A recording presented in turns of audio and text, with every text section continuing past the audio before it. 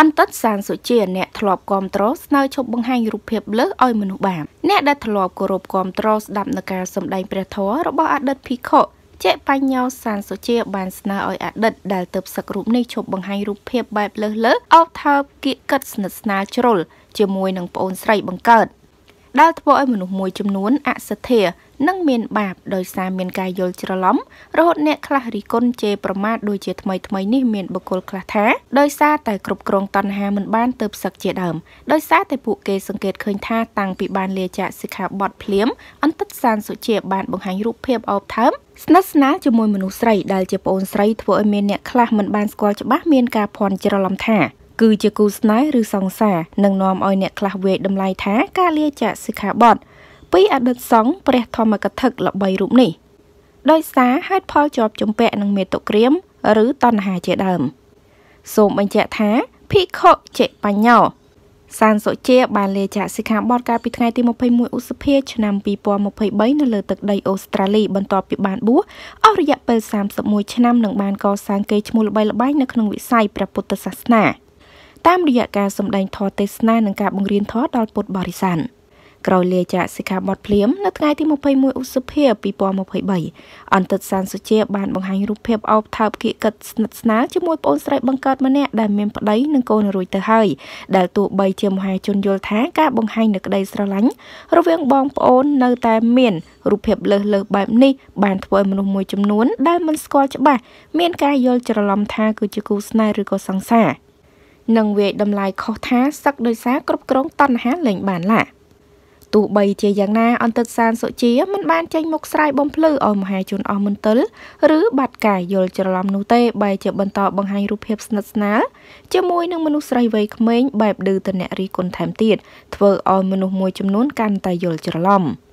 ជាក់ស្ដែងកាលពីថ្ងៃទី14លោកសានសុជាបានបង្ហោះរូបភាពមួយសន្លឹកថតលើសាឡុងក្នុងបន្ទប់ក្នុងកាយវិការអោបគៀកកិនស្និទ្ធស្នាលដោយគូសង្សារជាមួយនារីវ័យក្មេងម្នាក់ក្នុងទំព័របណ្ដាញសង្គម Facebook របស់លោកជាមួយសំណេរខ្លីថារាល់សំណួរមិនប្រកាសថាត្រូវតែឆ្លើយបើជាការចោទប្រកាន់រឹតតែមិនចាំបាច់ឆ្លើយក្រៅពីរូបភាពនិងសំណេរខាងលើក៏មានការទម្លាយរូបភាពលោកសានសុជាជាមួយនារីក្មេង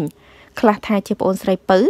ដដែលនៅទីតាំងថតដដែលក្នុងកាយវិការថ្នាក់ថ្នមអបស្ទាបមុខហុចថ្ពាល់និងរូបថត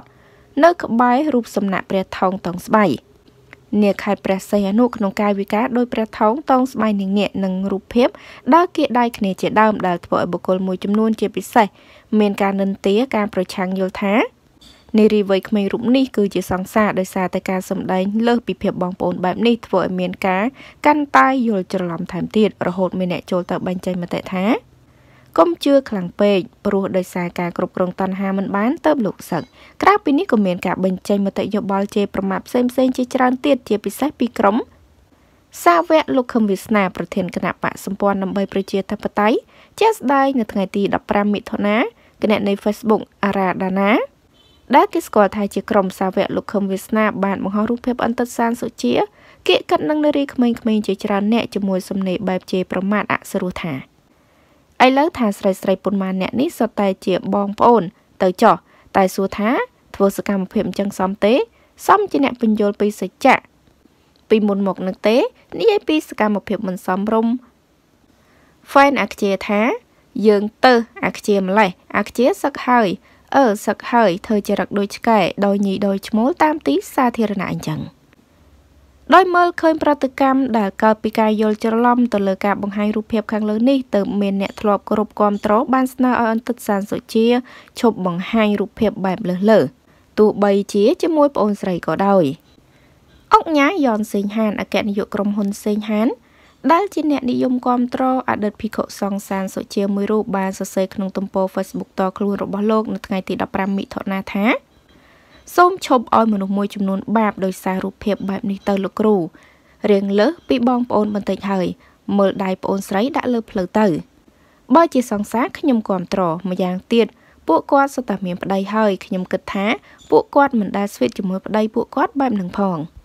បញ្ជាក់ខ្ញុំគោរពស្រឡាញ់លោកគ្រូទៅខ្ញុំនិយាយខ្ញុំចង់និយាយប្រាប់លោកគ្រូនិងប្អូនលោកគ្រូផ្ទាល់ដែរតែឆាតមិនតបខ្ញុំមិនចង់ឲ្យមនុស្សដែលខ្ញុំគោរពស្រឡាញ់ត្រូវគេយល់ខុសទេហើយសូមឲ្យអ្នកគ្រប់គ្រងលោកគ្រូខ្លះ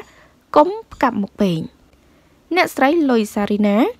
ភរិយាលោកសុកសុភាអតីតតារាភាពយន្តដែលសពថ្ងៃកំពុងរស់នៅប្រទេសអូស្ត្រាលីបារីគុនថាសឹកភ្លាមទៀមទាចំណាប់អារម្មណ៍ជ្រុលនិងដោយសារមិនស្គាល់រសជាតិស្វីត ទៅបានជាអញ្ចឹងជុំវិញការលើកឡើងរបស់អ្នកគាំទ្រនិងអ្នករិះគន់ខាងលើមិនអាចសុំការឆ្លើយតបពីលោកសានសុជាបានទេប៉ុន្តែលោកធ្លាប់បញ្ជាក់កាលពីព្រឹកថ្ងៃទី14ថាអ្នកដែលឌៀមដាមឬរហូតដល់ជេរប្រមាថលោកច្បាស់ណាស់ថាពួកគាត់មិនដែលជ្រះថ្លានឹងធម្មទានរបស់លោកតាំងពីលោកនៅជាបុព្វជិតម្ល៉េះនេះជាមូលហេតុដែលលោកមិនចំណាយកម្លាំងនិងពេលវេលាទៅឆ្លើយតបគឺលោកយកចិត្តទុកដាក់ជាមួយតែ អ្នកដែលចង់រួមដំណើរជាមួយលោកតែប៉ុណ្ណោះ។